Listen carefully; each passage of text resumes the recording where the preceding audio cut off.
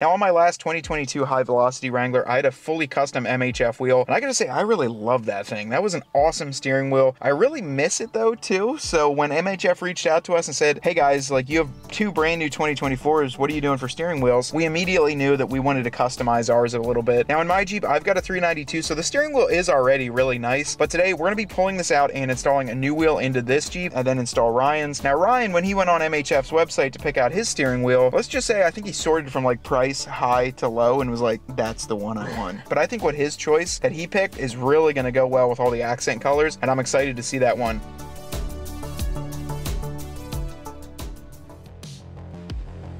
Okay guys, so the first thing I did was disconnect the battery. We're inside the Jeep. I've got a small pick, and what we're gonna do is actually just go right behind here, and there's a small little tab on either side of the steering wheel. So pulling that out, you can expose right behind there, which is a 10 millimeter socket, or 10 millimeter bolt, I should say. So we're gonna go ahead and get on here with our 10.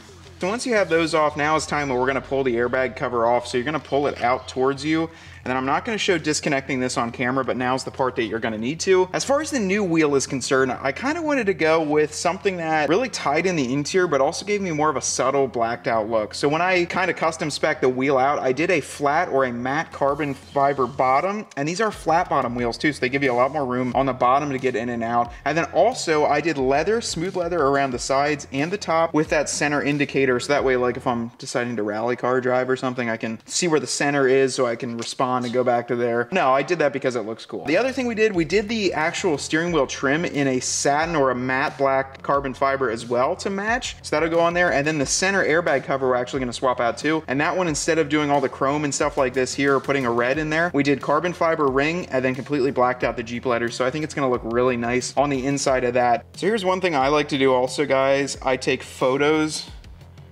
while I'm doing this just because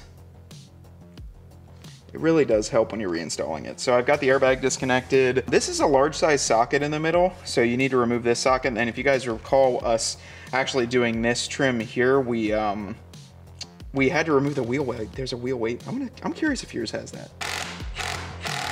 Here we go, Ryan. Here's the wheel weight again. This is so odd to me.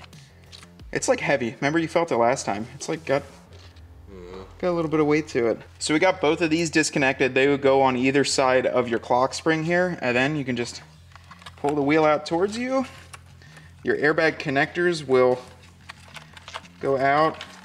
And also be careful too, I just kind of did a little bit. Don't turn your clock spring too much. Um, one of my old JLs, I actually had the steering, the connector, the shaft that goes down through, I had that disconnected and went in and spun the wheel and this clock spring shredded and nothing in the steering wheel worked. So we got the steering wheel on the table. We're gonna grab a small Torx bit. Let's see what Torx bit. A T20 Torx to remove one, two, three, four Torx screws. These are gonna be reused in the new steering wheel. So we'll go ahead and pull these off. Be a little gentle with this because they just go into plastic standoffs in the steering wheel. And also cool thing about MHF is you can kind of customize the wheel too. So you don't need to do like full on airbag covers, you know, have everything done. You can actually just swap over your stock airbag cover. Like I could drop this right back in. But yeah, you can kind of do it a little bit more to your budget and to your taste as well. Kind of as mild or as wild as you want to go. So we're gonna pull these four off here. Like mine, you know? Yeah, or very cheap like Ryan's setup. Mm -hmm. Wait till you see it though. Yeah, wait till you sick. see it, yeah. It's sick. All right, so we're gonna take the caps off for those. We will reuse those in our brand new carbon fiber paddle shifters. It should pull out just ever so slightly. And we can use our little pick to depress that right there remove this one also. I have the screws still in both of them. Let's pop those out. We'll set the screws right here next to the paddle shifters, but there's a before and after too. Carbon fibre. Okay, we've got most of that wiring popped out. These just run right along those that little channel there. And then actually the back half of this steering wheel comes off as well. It's kind of major surgery. And like I said, Ryan, you kind of know me. If you guys aren't comfortable doing something like this, definitely take it to a shop. What do you think, Ryan? Because you are. and I'm not a shop. I'm gonna keep as much as the wiring intact as I can, just like this. But we do need to remove our instrument panel from the back. Do you think I've scared the audience so far at this point? Nah. It's crazy though. I know how to do all this, but I don't know how to off-road or wheel my Jeep. No. Isn't that nuts? That's crazy, dude. It's just, that's insane. Yeah, so with these, you're gonna pull out like little piles there. This will pop out kind of towards you or, oh, there's, oh, there's one more. Hang on, just when I said I've done this before. There's one more little, little bugger hiding right there because there's a trim piece. So depending on what you have, if you've got adaptive cruise, all that, like this Jeep is loaded up, it's got all those goodies. You have a little trim piece that goes in there. Mine should be little. Yeah, because Ryan has like, he, don't- I don't even think he has buttons on his Yeah, steering wheel. Yeah. It's lucky you give you power steering. Doesn't have a horn either. Yeah, it goes. yeah, so see that? So that's the buttons. I'm gonna leave it just like this because what I'm gonna do, Ryan, is I'm gonna just leave the new piece like this and just swap it all over. This section, flat bottom. Yeah, you can see that how it kinds it's flat compared to the stock wheel, and I just like the flat carbon on it. I think it looks a lot, hell of a lot cleaner. Yep, it's reassembly time. At least part of it, and I got to do the airbag cover. Okay, guys, so we've got the steering wheel kind of put back together. I'm just gonna double check. I had to wire this up for the uh, for the actual heated steering wheel too, which you can option. And I wanna make sure everything's done right. So when you're setting this on, I'm referencing all the photos that I took. I'm kind of looking through everything and I'm just making sure that all of this is set into place. So here's the part where you wanna go easy. Once again, guys, you're threading these into little standoffs and this kind of suctions the whole wheel together. It's very important all your wiring is correct too. So, but just go slow with these and if it doesn't feel like it's going, double check all your wiring, check all your tolerances on the inside. But we're just gonna get these started and I'm kind of pulling the assembly together as one piece right now also, just to help it along. Pulling on the inner part while I tighten this too, to help it along a little bit. And if I do happen to break this one, then the decision's been made and I'll throw a teal one on from Distinction Applied. Why do I keep saying teal? It's bikini. Bikini, dude. I'll be wearing it next week. A bikini. Looking for good edge. See you want a good solid crisp edge around there. These tucked in nicely. Check your button functionality. So I can go, man, man, man, man. Yeah, everything feels good. Okay, now let's flip it back over. Two more screws down here. But first, let me throw my Un paddle shifters on. Don't go crazy on any of these screws. Doesn't that feel know. I wouldn't faster? Yeah, you wouldn't know because you don't have that, but you're going to have a more expensive wheel than I have. It's sick. it's bro. only fitting for Ryan's budget build. But that's, I mean, it kind of is when you think about it. We went with a wheel that was more expensive because we didn't spend as much on the Jeep, so we have more money. I just check all my buttons too. Besides the airbag cover, which is going to get swapped over from this to this.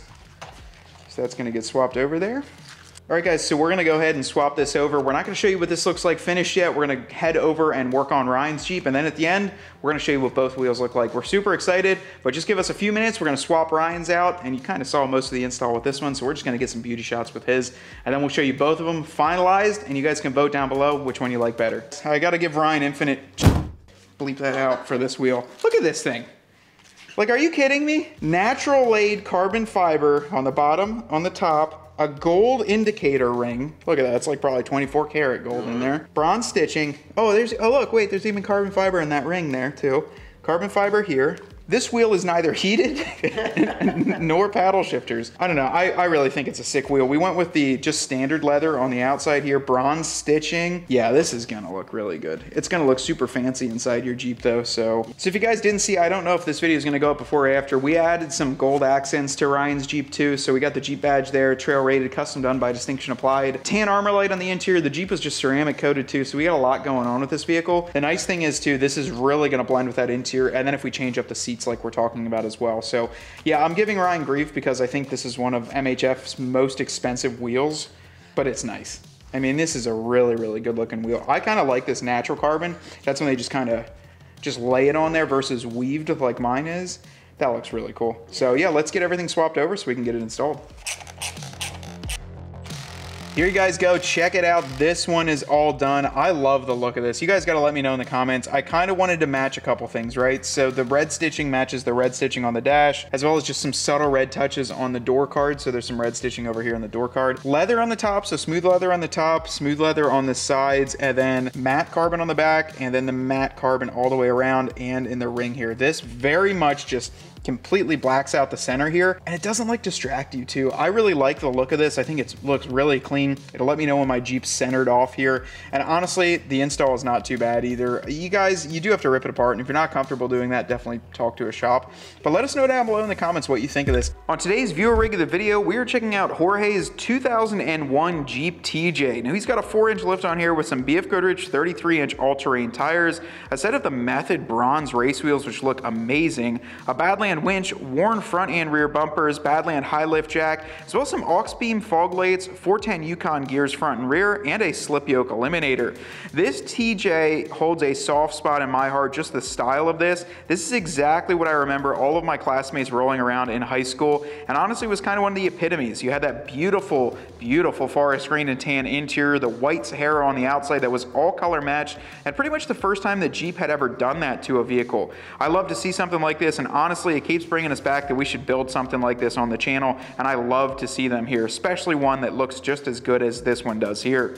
If you guys want to have a chance at your rig being featured, be sure to hit us up through Instagram or just simply send us an email. Check it out, guys. This is fully installed here. Carbon fiber wheel, got the airbag all connected up here. The horn works which means we did the install right. We just connected the battery, everything up underneath the hood too once we were done, just to try it out. Um, but yeah, what do you guys think? Let us know down below in the comments. I think this one looks fantastic too. I like the flat bottom wheel. I really think that is a big benefit, especially when you have a lifted vehicle like this. When you're jumping in and out, this is a lot easier for your leg to kind of go by it, especially when you have to hop into your Jeep like we do. Super nice looking wheel though here. I really like the gold that kind of that's inlaid underneath here for the center marker. Yeah, it's, it's nice looking. Let me know about that down below in the comments. Let Ryan know which one you like better. I don't know, maybe we'll make it like a friendly wager on whose was better. Yeah, I like that. like five dollars like first beer at coyote ugly is on the other. A huge shout out to mhf auto lighting for sending us both of these. If you guys want to check out a custom wheel definitely go to their website tell them dirt road cred sent you. I'm matt.